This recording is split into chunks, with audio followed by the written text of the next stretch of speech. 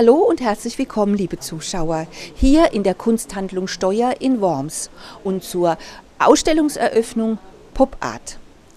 Heute werden hier Bilder und Grafiken bekannter Pop Art Künstler gezeigt.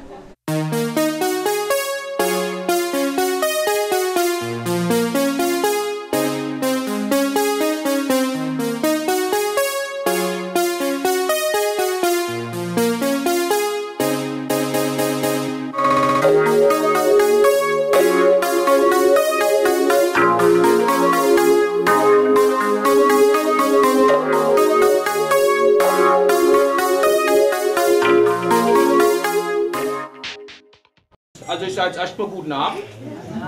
Freue mich, dass wie immer ordentlich Leute da sind. Ähm, bin auch ganz stolz auf das, was wir wieder zusammengetragen haben. Sie werden das sehen, wenn Sie die Chance haben, da noch herumzugucken. Aber nach der Einführung zeigt sich das ein bisschen. Da gehen ein paar raus an den Stand und dann hat man dahin mehr Zeit und Lust und Luft zum Gucken. Ähm, es ist so viel, dass man gar nicht alles aufhängen konnten. Deshalb ist es gehen über sonst, wo es also ein bisschen thematisch hängen und so Künstler zu Künstler und so, weil wir so durcheinander haben.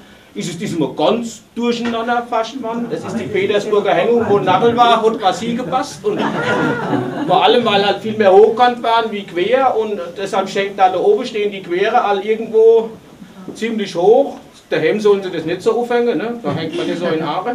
Ich begrüße Sie natürlich auch ganz herzlich und habe direkt eine Frage an Sie. Hören Sie es hier auch knallen?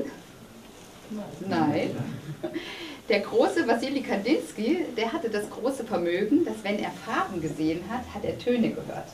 Und wenn ich mich jetzt hier so umschaue, dann muss man sagen, knallt es wirklich gewaltig, nämlich es knallt nach hochkarätigen Pop-Art-Künstlern. Pop äh, bedeutet übersetzt ja Knall, also Pop Art ist Knallkunst. Und hier knallt es im wahrsten Sinne des Wortes von vielen Pop-Art-Künstlern, von Andy Warhol, Roy Lichtenstein, Mel Ramos, Robert Indiana, Ellen Jones, Tom Wesselmann, Keith Haring. Also hier fehlt kein Popstar. Die Pop-Art kam munter, frech, optimistisch und ganz bewusst modern daher und war direkt im britischen und amerikanischen Leben verwurzelt. Eine Reaktion auf die entbehrungsreichen Nachkriegsjahre und die Sittenstränge der 40er, die auf fast alle Lebensbereiche überschwappte. Von Mode bis zu Werbeplakate wurden die Pop Art als visuelle Metapher der damaligen Aufbruchsstimmung. Pop Art, Way Out or Way In? fragte die Sunday Times auf dem Titelblatt in den ersten Wochen des Jahres 1964. Und natürlich antwortete die Antwort, lautete die Antwort Way In. Keine andere künstlerische Ausdrucksform hat das Alltagsleben je so stark mitgestaltet. Die Motive für ihre Kunst konnten nicht banal genug sein. Sie sehen es, Colaflaschen, Swimmingpools, rote Herzen, Straßenkreuzungen, Blondinen, Autos, Eiscreme, Zigaretten, Flaggen, Dollarscheine.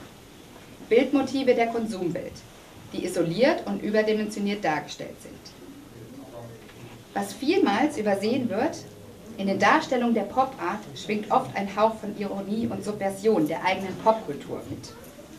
Andy Warhol schrieb, man wird nicht glauben, wie viele Leute sich ein Bild mit dem elektrischen Stuhl ins Zimmer hängen. Das ist hier vorne rechts, das haben Sie gleich gesehen. Vor allem, wenn die Farbe des Bildes mit den Vorhängen übereinstimmt. Aber genau das ist eben Konsumspaß. Ein zweites zentrales Thema der Pop-Art ist der Mensch. Beliebte Motive sind die Gesellschaftsikonen aus Film, Entertainment, Raumfahrt, Comic und Popmusik. Die Vorliebe der Künstler für Klischees und Stars, für Massenmedien und Kaufhausscham, für Comics und Nightlife. Und am Ende stelle ich Ihnen wieder eine Frage, nämlich die Fragen, alle Fragen der Pop-Art. Way out or way in?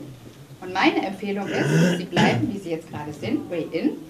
Und später, wenn Sie way out gehen, dann nehmen Sie sich ein Werk ihres Lieblingspopstars, das natürlich noch an der Kasse bezahlt wurde. Aber wie Andi sagt, vor allen Dingen viel Spaß, denn das ist Kunst.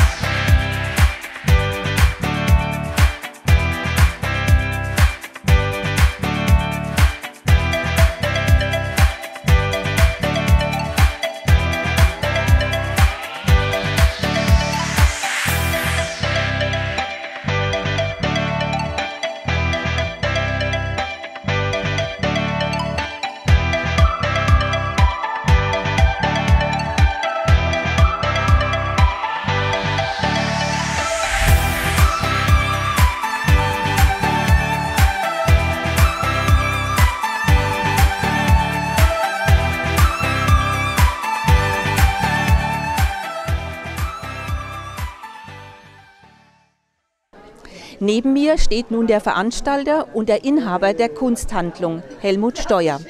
Herr Steuer, Sie ähm, präsentieren mit der Ausstellung Pop Art eine Reihe von Kunstwerken, die schon seit 40 Jahren im Fokus der Öffentlichkeit stehen. Um welche Grafiken und Bilder handelt es sich? Ja, die Hauptdarsteller oder Protagonisten dieser Ausstellung ist Andy Warhol, Roy Lichtenstein, Wesselmann, Robert Indiana, der Engländer Alan Jones, also alle Größen und Highlights der Pop-Art-Kunst sind hier vertreten. Äh, Werke von Pop-Art-Künstlern äh, sind ja in den letzten Jahren weltweit äh, vertreten. Äh, Sie greifen in Ihrer Ausstellung einige dieser Werke auf, die ja bereits unter anderem auch schon in New York zu sehen waren, also im Museum of Modern Art oder auch im Guggenheim Museum. Handelt es sich hier in Ihrer Ausstellung alles um Originale? Es sind alles Originale, aber es, was heißt aber, es sind Druckgrafiken und wie wir eben im Vortrag gehört haben, haben ja die Pop-Art-Künstler wollten ja eine Demokratisierung der Kunst und eine der Vervielfältigung der Kunst war ein wesentlicher Merkmal der Kunst. Von daher sind es alles Originale, handsigniert. Es sind auch welche nicht handsigniert dabei, aber die sind von den Künstlern autorisiert worden damals. Sie wollten das so und haben bestimmte Sachen in einer hohen Auflage nicht unterschrieben. Da steht zum Beispiel hinten auf dem Bild drauf, fill in your own signature.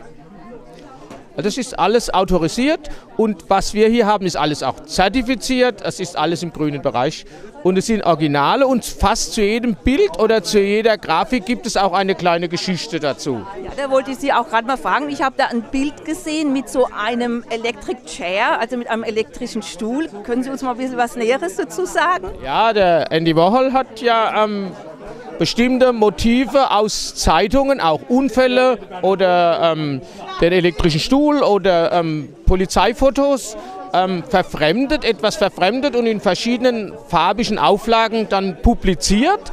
Und wie wir eben gehört haben und altbekannt gibt es den Spruch, ähm, die Leute hängen sich auch einen elektrischen Stuhl an die Wand, wenn er farblich zu den Vorhängen passt. Es war eine Persiflage und vielleicht aber auch ein Protest gegen die Todesstrafe. Das ist bei den Pop-Art-Künstlern immer sehr schwer zu unterscheiden zwischen Kritik am System, Ironie, Persiflage oder einfach nur ähm, populären Abklatsch, was in der Zeitung gestanden hat.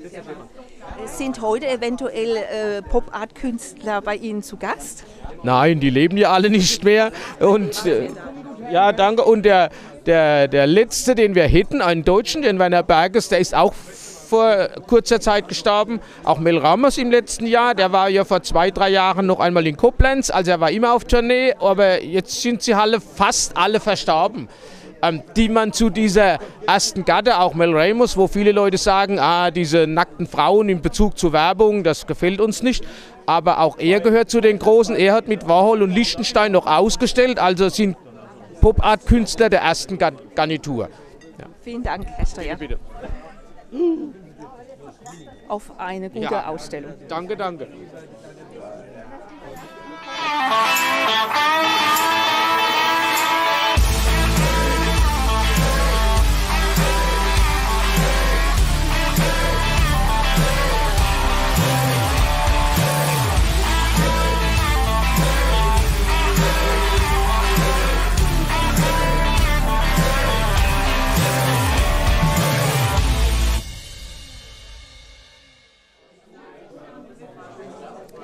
Für welche Kunstart, liebe Zuschauer, Sie sich auch immer interessieren mögen.